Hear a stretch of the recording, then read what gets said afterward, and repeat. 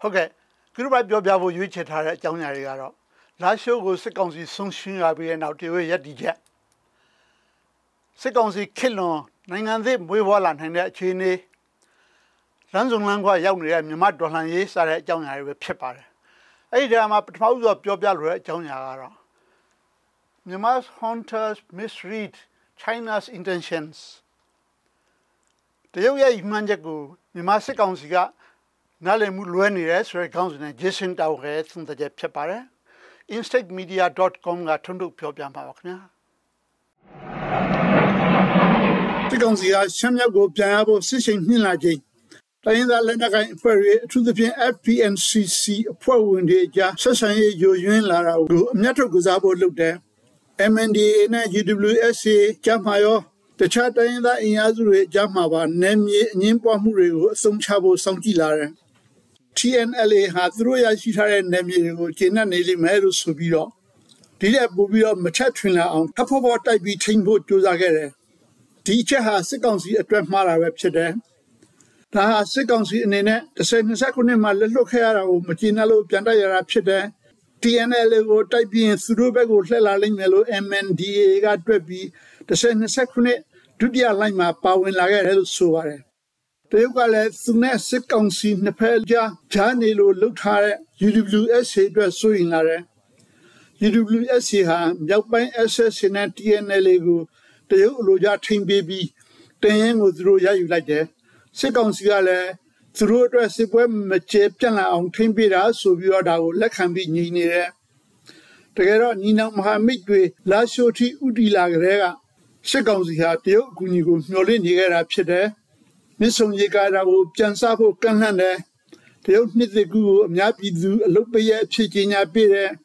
ငင်းကြမ်းစွာဆင်တွဲနေထိုင်ရေးမူငါးချက်နှစ်ခုဆက်ပြည့်တရုတ်ကဝါရဖြန့်ခါနာလုပ်တာကို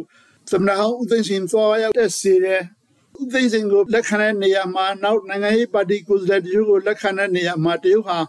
မြန်မာပြည်တွင်းရွေးကောက်ပွဲလုပ်ပြီးအခြေအနေကိုပုံမှန်ဖြစ်စေဖို့ဆိုတာကိုပြသခဲ့တာအဓိကဖြစ်တယ်။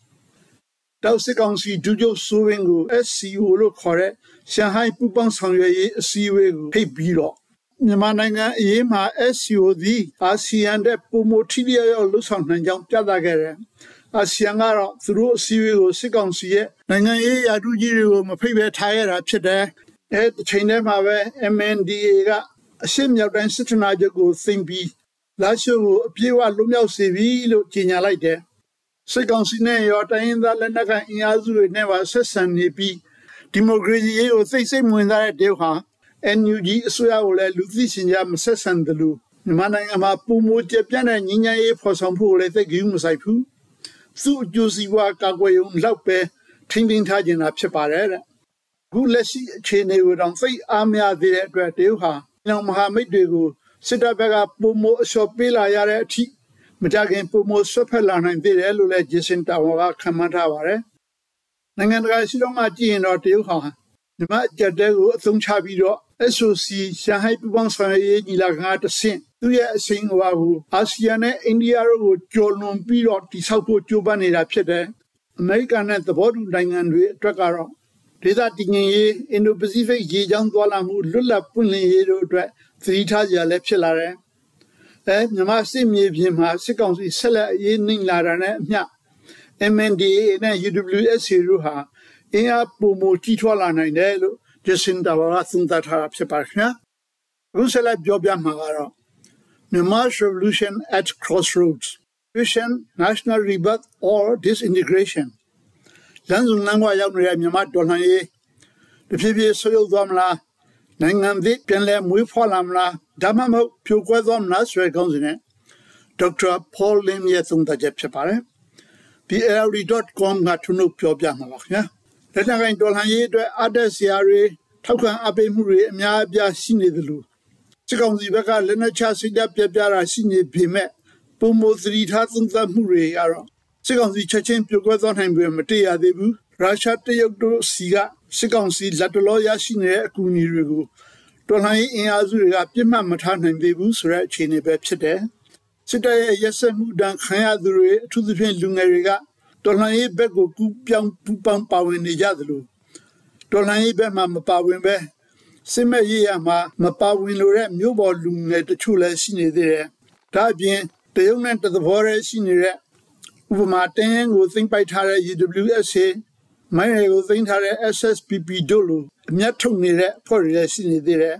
။ဆိုတော့တကယ်လို့စစ်ကောင်စီပြိုလဲသွားရင်ဒီဖွဲ့တွေကိုဆက်လက်တိုက်ရမလား။တိုင်ဘက် EAO တွေဖြစ်ကြတဲ့ TNLA, KIA, SSPP တို့အကြအငင်းပွားမှုတွေရှိနေသလိုရှမ်းမှာလည်းအချင်းချင်းနှစ်ဖွဲ့ကိုနေတာဖြစ်တယ်လို့ထောက်ပြထားပါတယ်။တိုင်းသားလက်နက်ကိုင်အင်အားစုတွေ self determination ခေါ်ကိုယ်ပိုင်ပြဋ္ဌာန်းခွင့်နဲ့သူတို့နယ်မြေသိမ့်ပိုက်ရေးအတွက် တိုက်ခိုက်နေတာကိုစစ်ကောင်စီကတရားဝင်တယ်လို့မယူဆပေမဲ့ဗမာလူငယ်တွေပါစစ်ကောင်စီကိုစန့်ကျင်ပြီးတိုင်းသားတွေနဲ့ပူးပေါင်းတိုက်ခိုက်လာတယ်ဒီလူငယ်တွေကိုတိုင်းသားတွေကလက်ကျင့်ပေးတယ်ကူညီတယ်ဆိုတော့အခြေအနေပြောင်းသွားပြီးစစ်ကောင်စီကဘုံရန်သူဖြစ်သွားတယ်လို့ဆိုရတယ်။အခုကြည့်ရင် Federal ဖြစ်လာနိုင်တယ်ဒါပေမဲ့ဘယ်လိုပုံစံ Federal မျိုးလဲဆိုတာစဉ်းစားစရာဖြစ်တယ်။အစိမ့်စိမ့်အမှန်မှပြိုကွဲမဲ့အရေးကိုရှောင်လွှဲရင်း လူမျိုးစုငယ်တွေအလိုက်ပြည်နယ်လေးတွေသူတို့စီဒန်စစ်တပ်ကိုစီနဲ့ထူထောင်ထားတဲ့ Federal ပုံစံမျိုးဖြစ်လာမလားကိုပိုင်ပြဋ္ဌာန်းခွင့်အစီအစဉ်ရှိတဲ့အဲ့ဒီပြည်နယ်လေးတွေဘယ်နှခုတောင်ဖြစ်လာလိမ့်မလဲဗမာကြီးစုမှုအောက်မှာရှိခဲ့တဲ့လူမျိုးစုအမျိုးသားရေးဝါဒ ethnic nationalism ကတော့ဆက်လက်မတည်ရှိနိုင်တော့ဘူးနိုင်ငံပေါက်စားလေးတွေအဖြစ်စိတ်စိတ်အမှန်မှပြိုကွဲသွားမဲ့အရေးကိုတော့ဘယ်သူမှလည်းလိုလားမှာမဟုတ်ဘူး အဲ့လိုကွဲပြားထွက်ပေါ်လာတဲ့နိုင်ငံသစ်ကလေးတွေကိုနိုင်ငံတကာကလည်းဘယ်လိုမှအသိမှတ်ပြုမှာမဟုတ်ဘူးလို့ဆိုပါတယ်တကယ်တော့မြန်မာနိုင်ငံဟာ multi ethnic societies လူမျိုးစုအများအပြားစုပေါင်းဖွဲ့စည်းထားတဲ့နိုင်ငံတစ်ခုသာဖြစ်သင့်ပါတယ်တဲ့ဒီကောင်စီကြဆုံမှုနဲ့အတူ ethnic nationalism ခေါ်လူမျိုးစုအမျိုးသားရေးဝါဒလည်းပဲဆွန့်ခွန့်တိုက်သွားမှာဖြစ်တယ်အဲ့ဒီခါကျရင် NUG ကတော့ဆက်လက်တည်ရှိသင့်သလား အခု NUG ဟာရွေးကောက်ခံလွှတ်တော်ကိုယ်စားလှယ်ကိုအခြေခံထားတဲ့ဆိုတဲ့အချက်နဲ့ legitimacy တရားဝင်မှုကိုရရှိနေတာဖြစ်တယ် bottom up လို့ခေါ်တဲ့အောက်ခြေကတနည်းအားဖြင့်လူမျိုးစုတွေအခြေခံတဲ့စတင်ဖွဲ့စည်းလာမဲ့ Federal အဆောက်အဦမှာတော့ NUG ကိုဖျက်သိမ်းရလိမ့်မယ်လို့သူကဆိုပါတယ် Federal အာဏာဟာ Federal အစိပ်ပိုင်းတွေပြည်နယ်လေးတွေစီကတဆင်သာဆင်းသက်လာမှာဖြစ်ပါတယ်တဲ့ အခုကအနာဂတ် Federal ဖွဲ့စည်းဆွေးနွေးမှုတွေကို NUCC နဲ့ NUG တို့ဘက်ကစတင်လှုပ်ဆောင်နေကြပြီဖြစ်တယ်လို့ NCA အစုကလည်းရှိနေတဲ့အတွက်မချမ်းကွဲလို့တော့မရဘူးဘယ်လိုပေါင်းစည်းကြမလဲအောက်ခြေအရက်ဖက်အဖွဲ့အစည်းတွေအခန့်ကဏ္ဍကလည်းဒီနေရာမှာသိအရေးကြီးတယ်လို့ဆိုထားပါတယ်တွင်တွင်နိုင်ကြတဲ့နေရာမှာတကုတ်တခဲအလျှော့မပေးပဲစိတ်ရှိသီးခံပြီးလှုပ်ဆောင်ကြမှတရားမျှတပြီးအားလုံးပါဝင်တဲ့သဘောတူညီမှုရရှိနိုင်မှာဖြစ်တယ် မြန်မာနိုင်ငံရဲ့အခြေအနေဟာအချင်းချင်းစစ်ဖြစ်နေဖို့မတတ်နိုင်တော့တဲ့အခြေအနေဖြစ်နေပြီး21ရာစုအတွင်းမတူကွဲပြားမှုတွေကိုဂုဏ်ယူဝင်ကြွားစွာနဲ့ငင်းကြံဖွံ့ဖြိုးပြီးအသစ်ပြန်လည်မွေးဖွားရတော့မှာဖြစ်တယ်လို့ဆမရှင်ဒေါက်တာဖောလင်ကသုံးသပ်ထားတာဖြစ်ပါတယ်ခင်ဗျာအခုနောက်ဆုံးပြောပြလိုတာကတော့ turning point အချိုးအကွေ့ဆိုတဲ့ခေါင်းစဉ်နဲ့ရေးသားထားတဲ့ New Delhi အခြေစိုက် Statesman သတင်းစာရဲ့သဘောထားအပေါ်ဖြစ်ပါတယ် thestatesman.com မှာပဲဖတ်ရပါလာရှိုကို MNDA သိမ့်ပိုက်နိုင်လိုက်တာစစ်တပ်ကြီးစိုးမှုစန့်ကျင်ရေးမှာအချိုးအကွေ့တစ်ခုဖြစ်တဲ့သူခေါ် Rebel Forces သဘုံအင်အားစုတွေရဲ့ခွန်အားနဲ့ပူးပေါင်းဆောင်ရွက်မှုမြင့်မားလာတဲ့အပြင်ဒေသရင်းပထဝီနိုင်ငံရေးအခင်းအကျင်းကိုလည်းပြောင်းလဲစေမဲ့အလားအလာရှိနေတယ်လို့ဆိုပါတယ်။စစ်တိုင်းကြီး၁၄ခုရှိရတဲ့ပထမဆုံးအနေနဲ့လာရှိုးဆုံးရှုံးမှုဟာ စစ်ကောင်စီအတွက်နီးဗျူဟာမဟုတ်ပဲမဟာဗျူဟာအရင်းမှုဖြစ်တဲ့စစ်ရာရှိကြီးတွေဆုံးရှုံးလိုက်ရတဲ့အတွက်စစ်ကောင်စီရဲ့အကြက်တဲ့ပုံမနဲ့ဆိုင်သွားစေတယ်။ကချင်းကရင်ချင်းစားတဲ့လူမျိုးစုလက်နက်ကိုင်တပ်တွေကကျူးစုအပေးရတာတွေ့ရတဲ့အတွက်လဲစစ်ကောင်စီကြဆုံးရေးတိုက်ပွဲပုံမထိရောက်စေမယ်